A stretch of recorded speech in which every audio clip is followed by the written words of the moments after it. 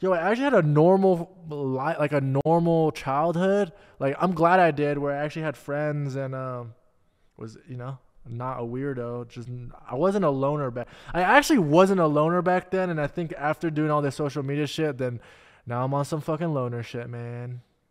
You going to your high school reunion? How do you even? How do you even go to a high school reunion? Like, who reaches you out? Who organizes it?